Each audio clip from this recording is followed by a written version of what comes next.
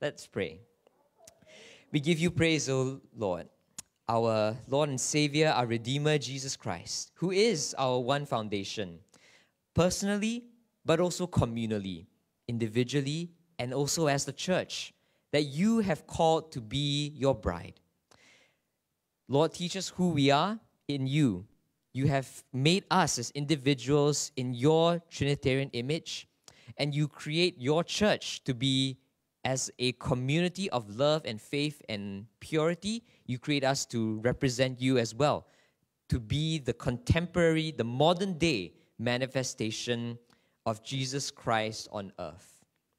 Teach us who we are, and so enlighten us on our duty here in this world and in this life, and teach us what we are to be and to do while we await the coming and the consummation of our Lord Jesus Christ and his reign over all the earth. This we pray through his name. Amen. All right. So, just uh, as we have been talking in this whole series about what it means to talk about the foundations of the ancient faith, we're talking about what we believe and also why we believe it, and also how we got to how we got here, right? The whole journey of development. We've been seeing in the last few weeks, really, that what began in the Old Testament, the Hebrew Bible, and then progressing through the New Testament and the early church, beginning with some of the first, second, third century Christians who were, were reflecting on scripture and bringing it into a concise, memorable form for people to understand and to absorb. And then it goes on to the restoration movement. We talk about Barton Stone and Alexander Campbell and how and how they did my mic go off for a second. It felt softer. Okay. If y'all can hear me, that's fine. That's all right. So, and we talk about the restoration movement, how we come to really believe in what we believe in the way that we believe it, right?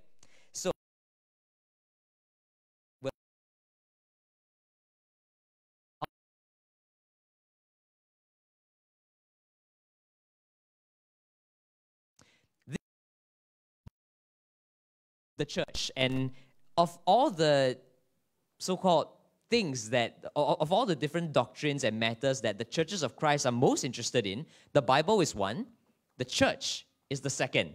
We have traditionally read scripture as a way of discovering, oh, this is you know God's blueprint for the church. This is how God has designed his people to be. For since the beginning of Genesis all the way to present day, or even to the end of the book of Revelation, it's all about this is what God's community on earth is supposed to look like. And I think there's much to affirm and value in that. So that's why today we're talking about the church. I want to name at the start here that the word church often tends to be quite a loaded word. Both to Christians and non Christians, it has some connotations, some of which are less helpful than others, right? If we're Christians, we think of church as it's the thing that we do on Sunday. It's where we show up, it's where we are with our Christian brothers and sisters. But for some people, church can mean the boring thing, the stuffy rites and the rituals, the rote way of doing things, the institution, the non personal nature of things. Sometimes that's what church means to people. And to people outside the church, people who look in at us and they think, oh, you know, those church people, they're so hypocritical, they're, they're, so arrogant and so forth. And so there's some unhealthy connotations about the word church. And today we want to kind of push back on those things and say, no, church was never meant to be that.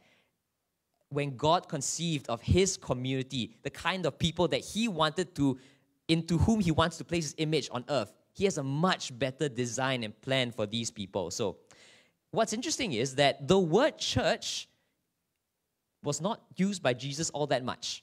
The word that he likes to use, uh, Jesus uses the word church only twice in the New Testament. The word that he uses more often is kingdom of God, kingdom of heaven, right? When he invites people into his community, he doesn't invite them to join his church, it's, he invites them into the kingdom. So, that being said, everything that he says about the kingdom can be related to what we today call the church.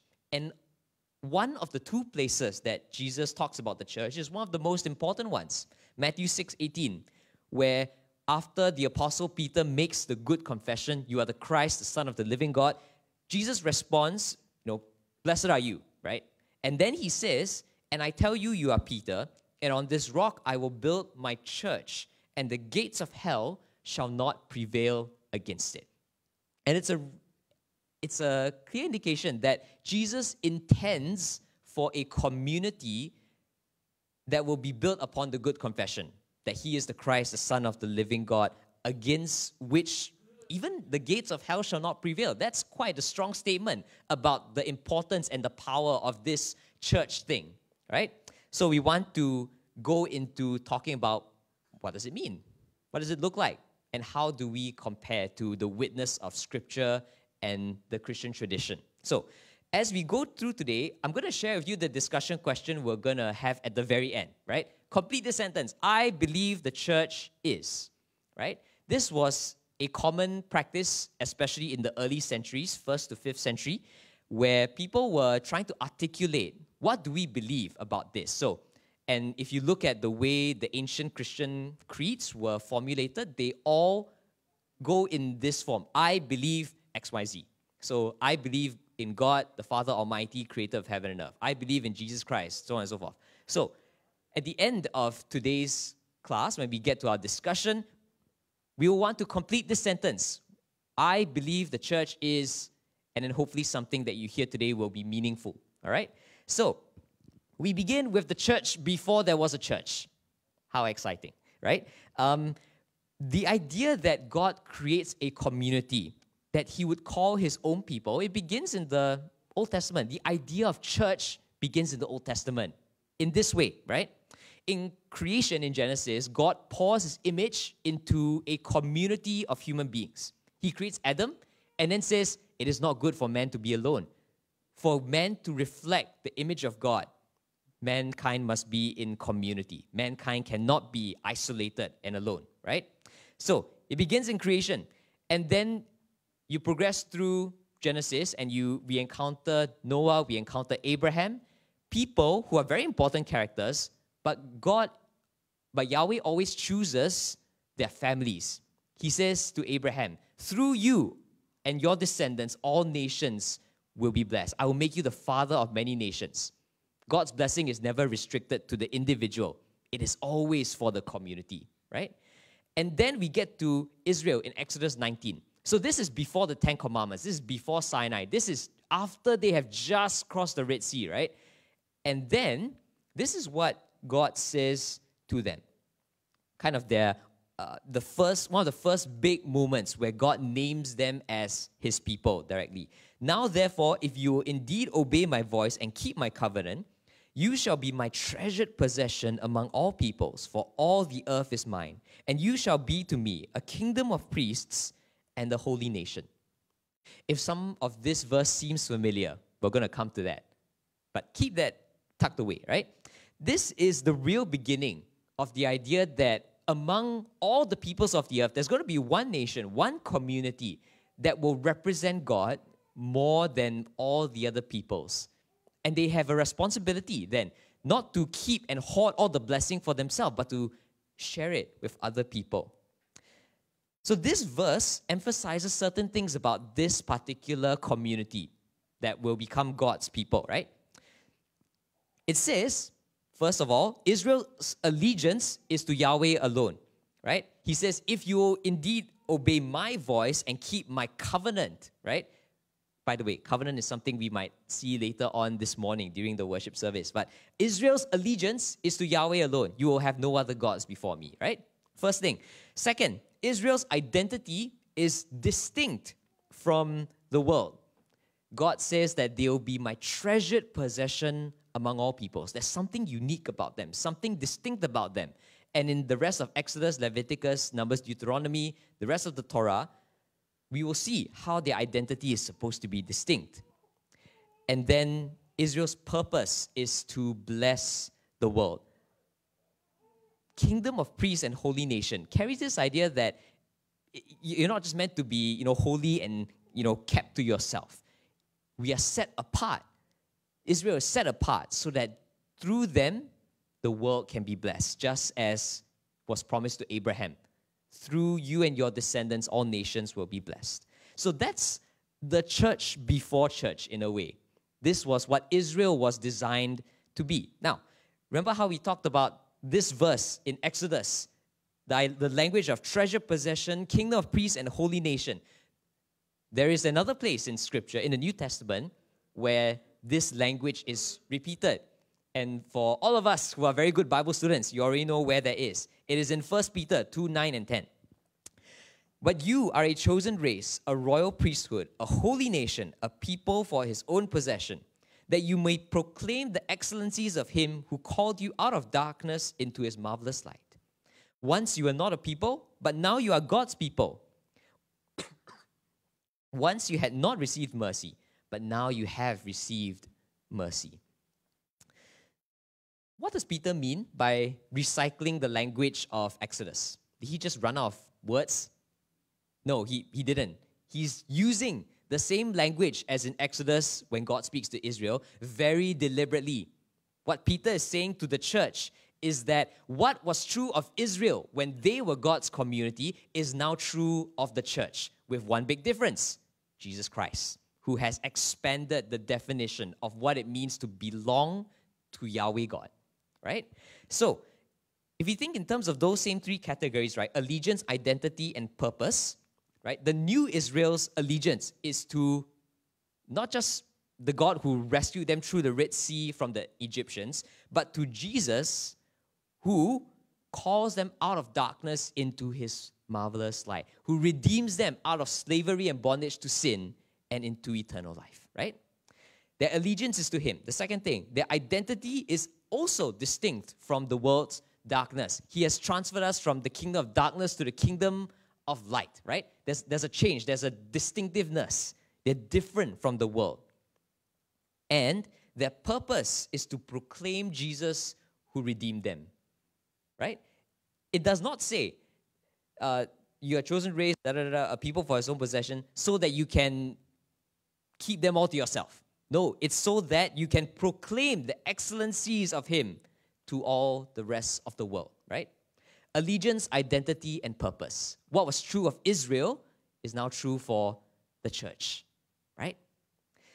So, progress a few more centuries, right? When the early church is trying to figure out who are we exactly, right?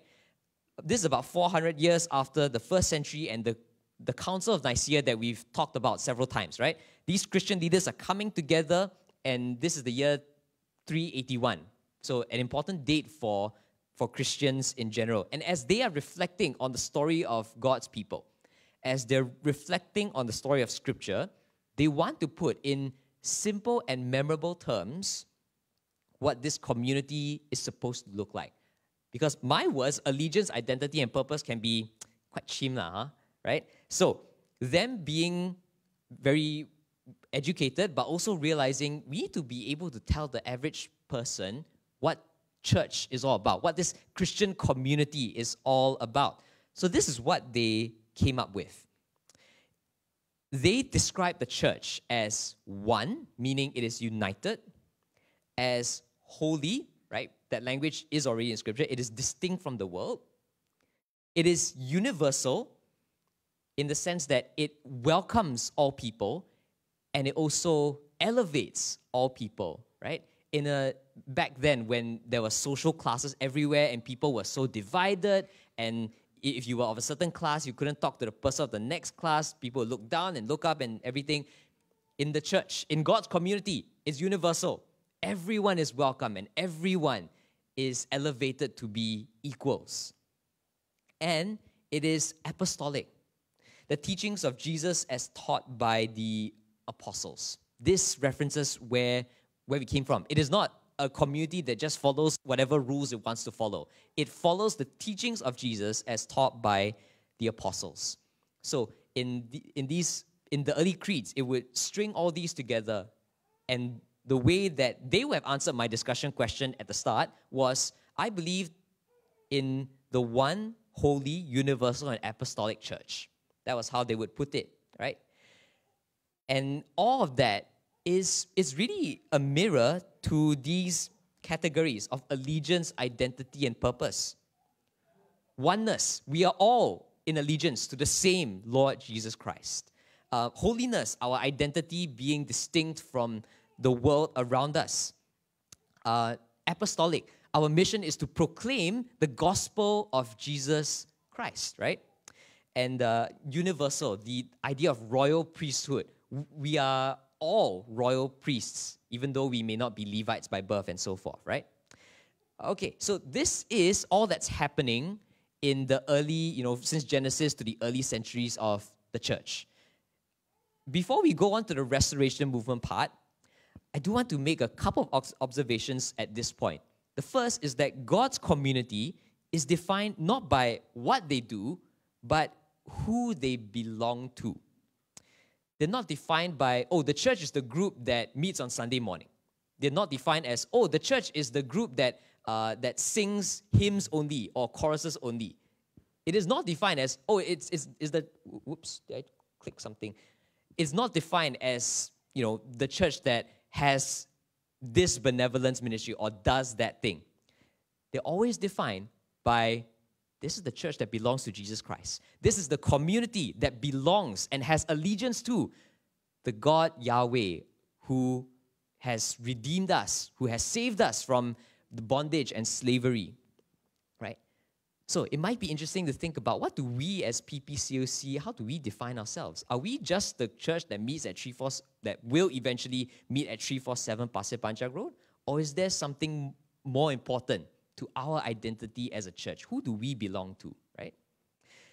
So that's a question to think about. The other observation I wanted to make at this point is that God's community is defined less as place, it is almost never defined as event, but always as the people.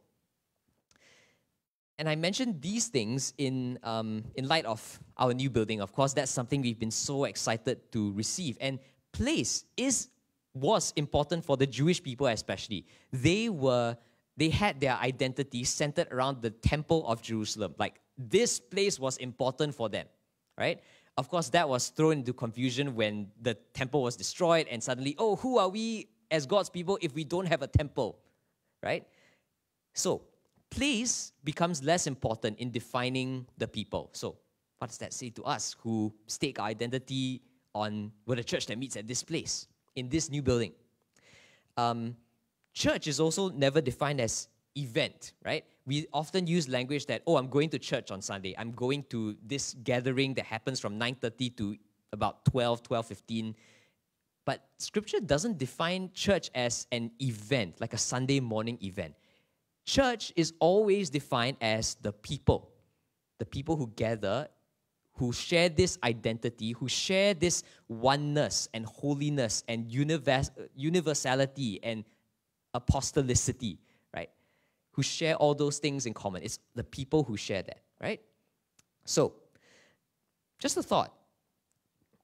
When we talk about, so this is sidetracking a bit from the church and its history, when we talk about being excited for a new building, which I think we should be, it's a big project that many of us have invested a lot in, financially and otherwise, right? What if we could expand our language to say, I'm so excited for what God is going to do through it, right? We put the building in its high place, but also in its proper place. It is a tool, it is a means, it is the instrument, a sacred instrument through which God can work. But we put the focus on God who's working. What if we were to say, we're so excited for how God is going to transform us in this new season marked by this new building, this new resource? What if we use that sort of language? Then we reduce the focus on the physical building and we increase the awareness that the church is the people, right? Who use this space to the glory of God. Just to float those thoughts. All right, so now we get to returning to the history part of it. We've talked about the Hebrew Bible, the New Testament, and now, and some of the early church, now we're in the restoration movement. Bart and Alex, my good friends, we're jumping about 1,300 years by the time we get to these guys. But a lot happens in the years leading up to it. Right? We have, uh, we have many different Christian traditions that spring up and contribute to what it means to be the church. And if we look at the history, while we may not agree with every single tradition's doctrine, there's stuff or there's things inside that may be useful, right? Um, some of it was helpful, others were not. Uh, there were some things that were happening in the 17, 1800s that were problematic. For example, the Enlightenment was happening. And Christianity was losing its primacy as the cultural worldview of the world. People are starting to disregard Christianity. It's old, it's outdated. Uh, it's better to use reason and the Enlightenment and all those ideas. Um, so, what did the church do? The church tried to harden themselves. They say, okay, we need to, we need to, we need to protect and ground ourselves in our doctrine. We need to solidify it so that no one can attack it. Of course, the problem when you try and do that is that then when you start drawing lines and everybody starts drawing their lines in different places, then that's where the church becomes divided. That's where the idea of denominationalism really begins, right? When everyone's drawing their own lines and saying, because I draw my line here and you draw your line here, we cannot associate. And that was problem. There was also this new world independence because people were moving from Europe to the Americas and they were leaving their state churches behind. They were setting up their own, uh, they wanted to practice their Christian faith in the way they wanted to, which also meant that, again, then when someone in this little town and someone in this other little town creates their own church and they don't really have a standard to follow, they just do their own thing and then they meet and then, eh, how come your church does that so differently? How come your church doesn't believe in Jesus as the Son of God? So on and so forth. And there were all these things that were happening in the background to Bart and Alex. So what did they do? So they come on board. Last week, if you remember, we talked about the Bible, how we decided, how the restoration founders decided that, not, not this decided, but they realized Scripture has always been here. Scripture has always been our uniting feature. So let's let the Bible speak and inform who we are meant to be, right? And so there came about some descriptions of what it means to be the church, right?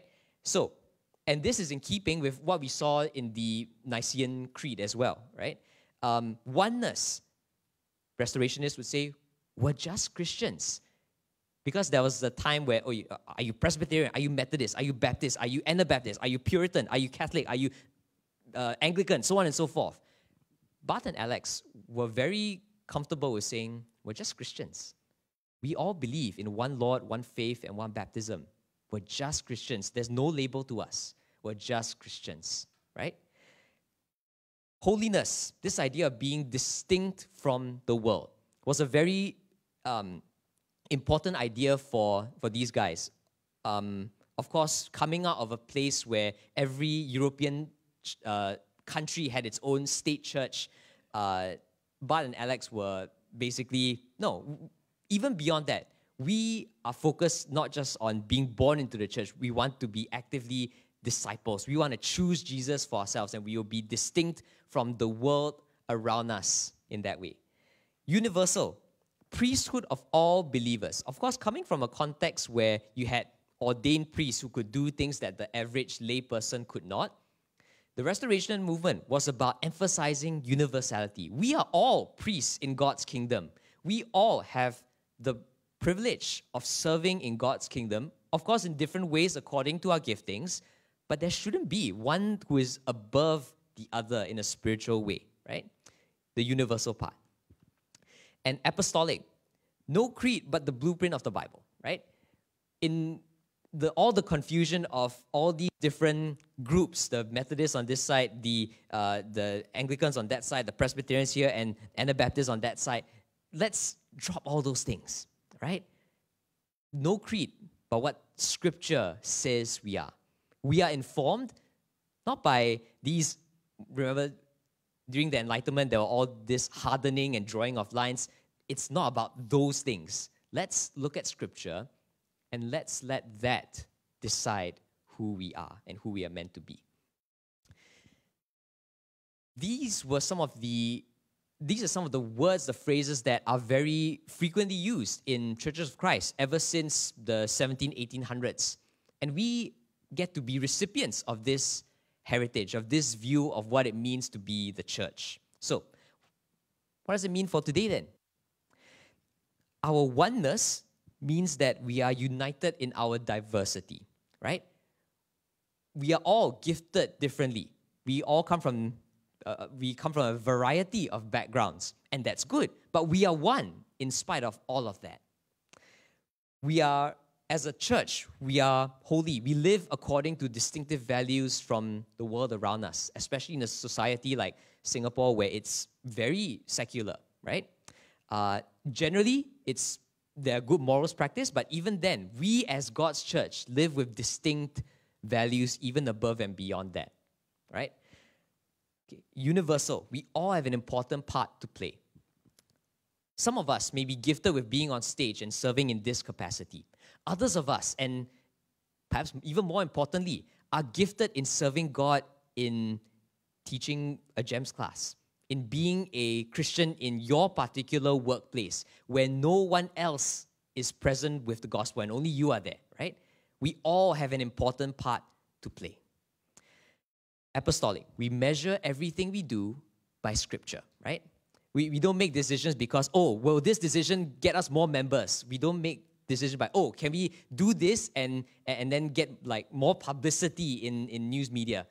Our, the way we measure is not by numbers, it's not by it's not even by number of baptisms and conversions. The way we measure what we do is according to scripture. And what does it say? It's the story that we talked about last week. It's the story of what God is doing in the world. And in what we do, are we being the presence of God living in the world? Before we go into our discussion questions, there's one more idea that has come up so frequently that I think it's worth addressing in a conversation about church. Anyone here heard something akin to this? Anyone heard or been exposed to any, an idea that something like this? I love Jesus, but not the church. Somewhat familiar? Somewhat? Okay, maybe not so much. Um, I see some hands. I see one enthusiastic hand in the back there. Thank you. Uh, who's behind Irvin? Uh, oh, okay. right. And this, I think, is common among young people, right? My generation and a bit above me, and definitely below me. Uh, and so, really, I'm speaking to people who are not in this room, uh, and for our information as well. There's a growing number of people in the world who think that, you know, I like Jesus. I like his, I like the Sermon on the Mount. I like that he came to earth, died, was buried, and was resurrected, and saves me from my sins. But I don't like being with people who also believe the same thing. And the reason is many. There's many reasons, right? Some people say this because they like Jesus and his values, but they don't see Christians living it out.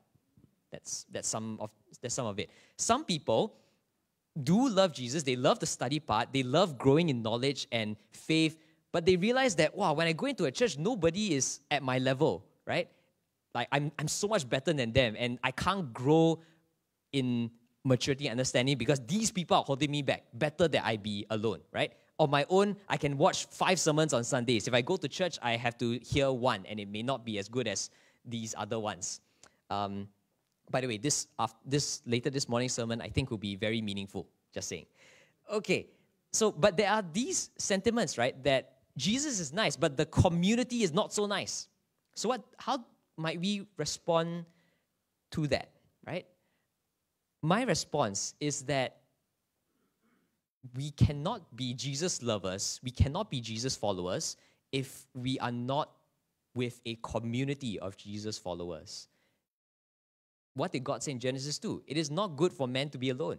It is not good for Christians to be isolated and on their own thinking that I can grow myself and feed myself and nourish myself. Last week, our conversation about scripture, I think we all realized, agreed that I can't understand all of scripture on my own. I need people to be around me and to challenge me and to converse with me and to differ with me so that we can grow together, right? I shared that story last week about how our youth ministry, we gather and we have questions about scripture that we sometimes don't reach an answer to. But that is probably the most real expression of church. When we come together, when we are trying to follow Jesus together, and when we encourage and sharpen one another because we are grounded in our unity we are grounded in our mutual holiness, that we're all learning to live this distinct lifestyle from the world. we're all we are all learning. So just because I might be youth minister doesn't mean they don't have anything to teach me. We learn from each other.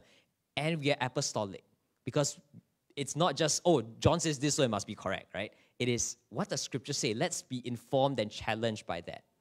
That's what church means. And if we're not doing that, if we're not being in a community where we can do that, then you might know a lot about Jesus, but we might not, that's not really loving him as it is.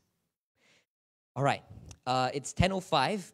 Some discussion questions to just reflect on. I've spoken a lot of things this morning. So to help us process this, right? Um, discussion questions like the one we saw at the start, complete this phrase in your own words. I believe that the church is, so on and so forth. Um, I see a lot of people took notes, and that's great. So you can use those to fill out your answer. Second question if you do have uh, some time, right? What are practical ways that we can live out the biblical call to be one holy, universal, apostolic church? All right.